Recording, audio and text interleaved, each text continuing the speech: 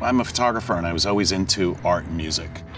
I was studying at Boston University, broadcasting and film and photojournalism, and one day I walked down the street to Kenmore Square and walked into the Rathskeller, what's known as the Rat. And there's the Boston Battle of the Bands, and they were all punk bands.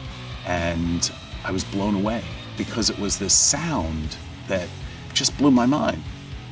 I went from music snob to lover of this punk movement.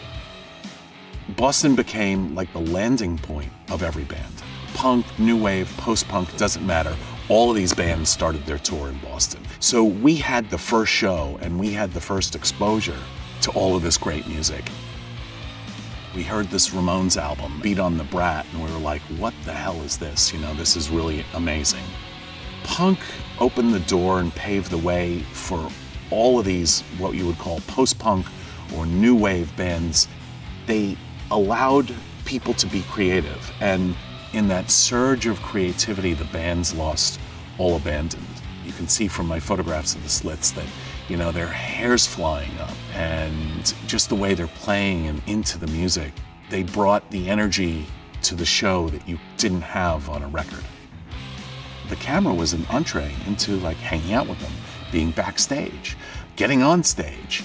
And the camera became this entree for me to be with the people I was interested and be a part of the music I loved.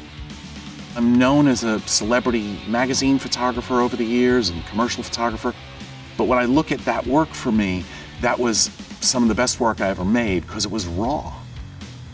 This moment in history of punk for the audience watching the show was the most organic and authentic moment in musical history whether it's post-punkish new wave and it's a soundscape by Siouxsie and the Banshees, or one of the early Simple Minds record, or it's the Sex Pistols, it was a moment of freedom.